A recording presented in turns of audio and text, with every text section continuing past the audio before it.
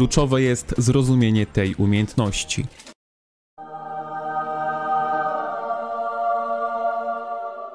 Siemanko, z tej strony Anioł, witam cię serdecznie na moim kanale. Tak, dziś nastał dzień, w którym weźmiemy się za kolejnego bohatera. Bohatera, który nie zasługuje na takie pozostanie w kącie, bo jest naprawdę mocny i nawet przez pewien okres miał swoje dwie minuty w mecie. Bo nie było to 5 minut. Co prawda w mecie garnizonowej, ale mimo wszystko w mecie. Trzy miesiące później wyszedł Goresz i stało się. Teraz to właśnie Goresza widzimy w każdym garnizonie niezmiennie od ponad pół roku. Myślę, że taką ciekawostką zasłużyliśmy na lajka, suba, machnij komentarz, a my przejdźmy do naszego Teodora. Umiejętność numer 1, ukryta złośliwość. Teodor zadaje obrażenia wybranemu legionowi o wysokości 1400 współczynnika obrażeń oraz wywołuje zranienie, które zmniejsza HP przeciwnika o 30%. Same obrażenia są solidne, ale to minus 30% HP jest naprawdę genialne. Na ten moment jest to chyba najpotężniejszy debuff w grze, który zdecydowanie pomaga wysadzić wrogie legiony, które napotkacie na swojej drodze. Podobną umiejętność ma również Nika, ale bez drzewka kawalerii czy mobilności jest dosyć wolna. Mimo wszystko gracze kawalerii lubią jej używać. A samą umiejętność wpadania w szał Teodora ocenię na mocną, mocną piątkę. Umiejętność numer 2. Ambicja zdrajcy. Jednostki kawalerii zyskują premię do obrony w wysokości 30% oraz premię do prędkości marszu o wysokości 10%. Bardzo przyjemne atrybuty, 30% obrony to jest naprawdę bardzo dużo. Kawaleria ma tej obrony bazowo dosyć sporo, więc każdy procent więcej ma naprawdę odzwierciedlenie na polu walki. Ponadto prędkość marszu jest bardzo ważna dla kawalerii, dlatego tutaj również Teodor dostanie piątkę. Umiejętność numer 3, królewskie rozporządzenie. Podczas stacjonowania w mieście lub bastionie Legion ma 20% szans na uzyskanie wigoru i odporności na atak, gdy zostanie trafiony atakiem. Dostajemy premię 10% HP na 3 sekundy oraz dostajemy 10% odporności na atak również na 3 sekundy. Zawsze ocenialiśmy bohaterów pod względem open fielda, więc tutaj również dam 0, aczkolwiek premia do HP i premia odporności na atak są naprawdę fajne. Teodor jest naprawdę wytrzymały w garnizonie, dlatego damy tutaj 0, ale na garnizon jest całkiem spoko. No niestety nie w tym momencie, gdyż piechota ma Goresza i Skogul, a jak widzimy piechota kontruje kawalerię. Poza tym Goresz i Skogul są teraz totalnie w mecie, czy to w rali, czy to w garnizonie. Dlatego Teodora na garnizonie raczej już nie zobaczymy. Mimo wszystko, póki nie było Goresza i Skogul, Teodor był naprawdę bardzo mocnym wyborem. Umiejętność czwarta, cios łaski. Po każdym wywołaniu efektu osłabienia wrogiego legionu poprzez użycie umiejętności bohatera, legion uzyskuje kumulację znaku konsula, maksymalna liczba kumulacji 3. Wszystkie kumulacje znaku konsula wyczerpują się po użyciu umiejętności wpadania w szał, zwiększając obrażenia od tej umiejętności. Maksymalnie możemy zwiększyć nasze obrażenia od umiejętności bohatera aż o 60%, więc bonus jest naprawdę przepotężny. Jedyne z czym możemy mieć problem to ze zbieraniem tych znaków konsula, ale jest w tym momencie dwójka bohaterów, którzy mogą mu zapewnić maksymalną liczbę znaków konsula. Pierwszy z bohaterów nikogo raczej nie zdziwi, jest to Forondil. Theodor ma jedno osłabienie na swojej umiejętności, Forondil na swojej umiejętności wpadania w szał ma drugie osłabienie, więc mamy już dwa staki. Trzecie osłabienie, które może zagwarantować nam Forondil, wynika z jego przebudzenia, więc aby mieć pełne trzy staki w parze z Forondilem, Forondil musi być przebudzony. Drugą bohaterką, która może zapewnić mu trzy staki jest nie kto inny jak nasza kochana Kinara. Teodor daje nam osłabienie numer 1. Kinara ze swojej umiejętności wpadania w szał daje nam osłabienie numer 2, a osłabienie numer 3, które jest dosyć częste, pochodzi z umiejętności czwartej, nieuzasadniona przemoc. Legion Kinary trafiony normalnym atakiem ma 20% szans na wywołanie u celu spowolnienia, które jest zaliczane jako debuff, przez co nasz Teodor będzie miał 3 staki znaku konsula. żeby nie być gołosłownym, przejdziemy sobie do raportu właśnie z Kinarą i tutaj sprawdzimy, czy moje słowa mają pokrycie. Wielkie podziękowania tutaj dla Seby, bo dzięki niemu możemy sprawdzić, jak umiejętność Forondila się zachowuje. Seba przesłał mi mnóstwo raportów, ale raport z Kinarą otworzył mi oczy na czwartą umiejętność Teodora. Więc umiejętność czwarta działa w ten sposób. Tutaj mamy pierwsze użycie umiejętności, mamy pierwszy znak konsula, cios łaski, mamy tutaj jedną kumulację. Druga kumulacja znaku konsula pochodzi od ciosu grzechotnika, czyli od umiejętności wpadania w szał kinary. Natomiast trzeci znak konsula pochodzi właśnie od nieuzasadnionej przemocy. Jak możecie zauważyć, tutaj mamy już maksymalną liczbę kumulacji znaku konsula i na następnym użyciu umiejętności Teodor powinien zadać obrażenia zwiększone od umiejętności wpadania w szał nawet o 60%. Tutaj będzie to 36% więcej obrażeń. Za pierwszym użyciem Teodor zabił 12 975 jednostek.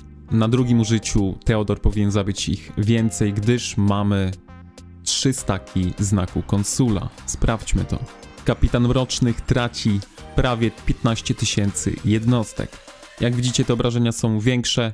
Może ta różnica nie jest tak diametralnie duża, bo tutaj mamy zwiększone obrażenia o 36%. Natomiast przy pierwszym użyciu te obrażenia są dodatkowo zwiększone o 15% z talentu. Natomiast co ciekawe, same znaki konsula może rozładować jedynie Teodor i nieważne ile tych staków by miał. Na każdym wpadnięciu w szał Teodor wykorzysta wszystkie znaki konsula dostępne, jakie ma, nieważne czy ma 3, czy ma 1 i o tyle procent, ile te znaki dają, zwiększy swoje obrażenia. Zastępca Teodora nie może rozładować tych znaków. Może mu jedynie je zapewnić. Więc jeśli chcecie mieć maksymalną liczbę znaków konsula, a nie macie przebudzonego Forondila, Kinara może się tutaj naprawdę nieźle sprawdzić. A sama umiejętność naprawdę mi się podoba. Co by nie mówić, 60% więcej obrażeń od umiejętności bohatera to jest naprawdę bardzo dużo. Szczególnie to jest widoczne po pierwsze w garnizonach, po drugie w rally. No bo tam mamy więcej jednostek, większe obrażenia, które jeszcze lepiej skalują się z dodatkowymi 60% obrażeń. Dlatego za umiejętność numer 4 również dam piąteczkę. W ogóle ciekawi mnie, jaki raport dałoby rally Teodor Kinara, szczególnie w sezonie sporów, w którym jesteśmy, w którym możemy zamienić jedyną umiejętność podstrzelców Kinary na jakąkolwiek chcemy. Na przykład umiejętność Kinary moglibyśmy zamienić na pobudzoną krew, 10% więcej HP, 20% więcej ataku fizycznego. Myślę, że takie ralia, nawet marsz miałby jakiś sens. Dajcie znać, co o tym sądzicie w komentarzu. A my wróćmy do Teodora. Jego przebudzenie moim zdaniem jest bardzo, ale to bardzo potężne. Legion Teodora otrzymuje o 25% mniej obrażeń od normalnego ataku. Nie ma co tu dużo gadać, bardzo mocna umiejętność. Kolejna, piątka. Teodor zdobył 20 na 25 punktów, jest to 80%, co daje nam ocenę dobrą. Gdybyśmy się pozbyli umiejętności pod stacjonowanie, naprawdę bardzo mocny bohater na pole walki. Przejdźmy teraz do drzewek. Będziemy pracowali na Bakshim, gdyż Bakshi ma również drzewko kawalerii oraz drzewko umiejętności, podobnie jak Teodor. Na środku Teodor ma drzewko pod stacjonowanie, Bakshi ma pod utrzymanie pokoju, ale tak czy siak, jeśli nie stacjonujemy, to żadnego punktu raczej nie rozdalibyśmy w drzewko stacjonowania.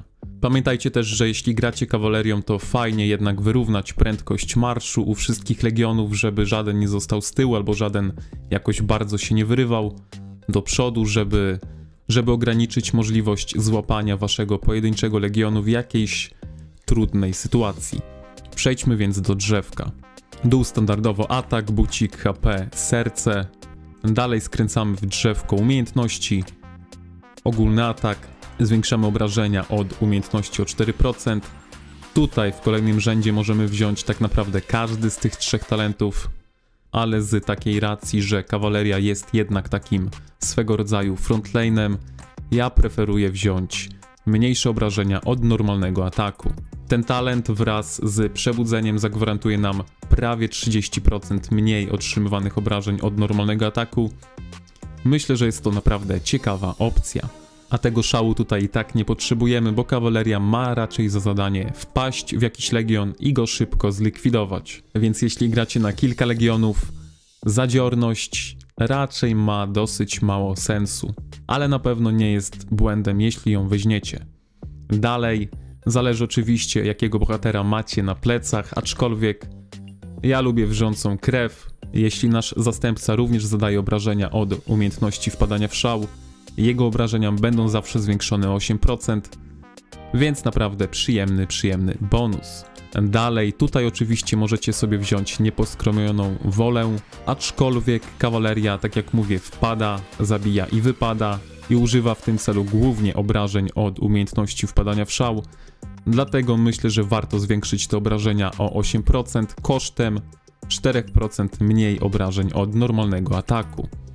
Oczywiście mówimy tutaj cały czas o kawalerii walczącej w zwarciu, gdyż kawaleria elfia po prostu zsie.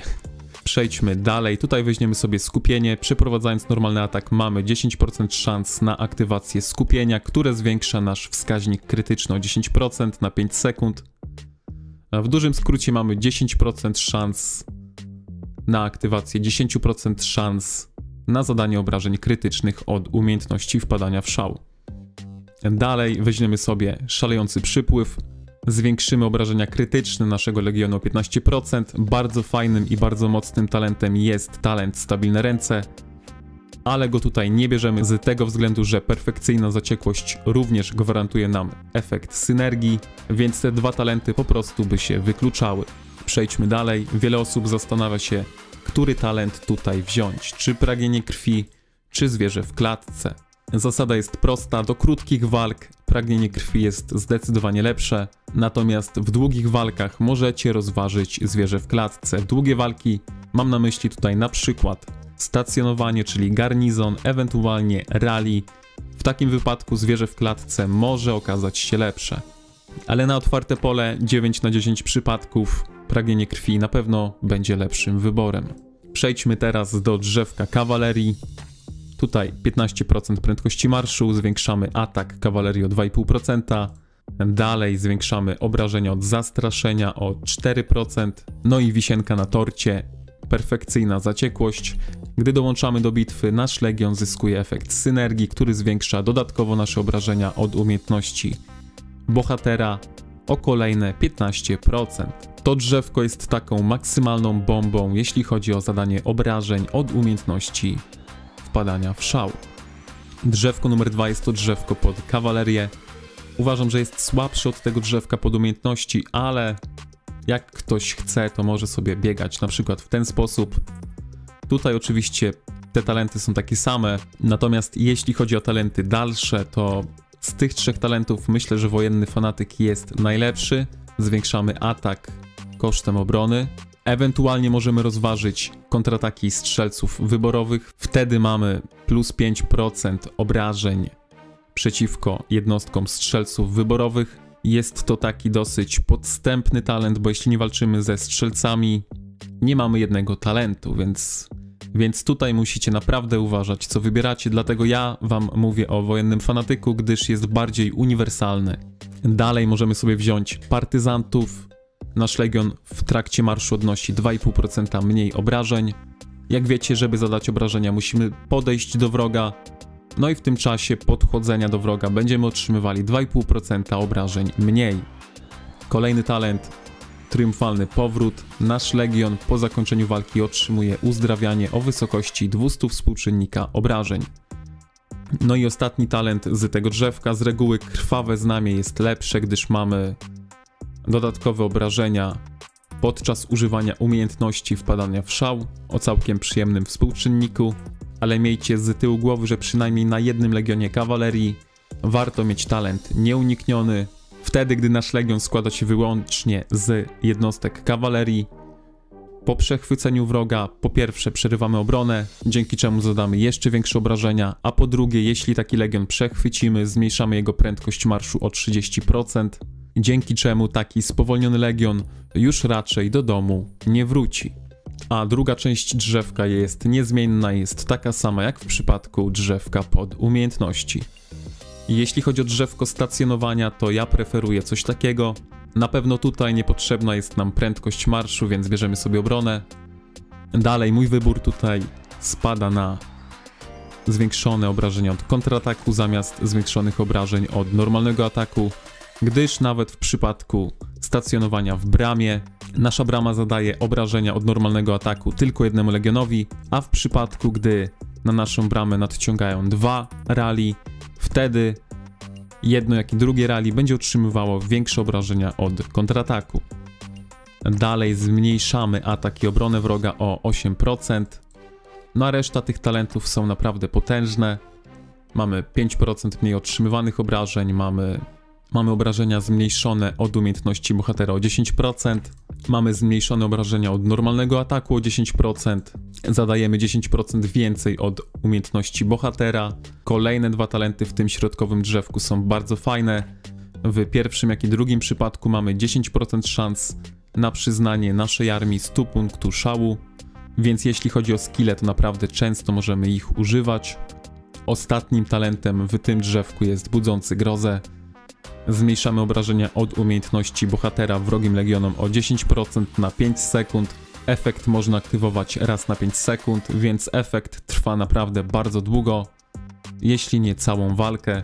No i ostatnie dwa punkty ja tutaj daję w 2% więcej zadawanych obrażeń. To drzewko jest takie uniwersalne, drzewko stacjonowania jest naprawdę bardzo, bardzo mocne.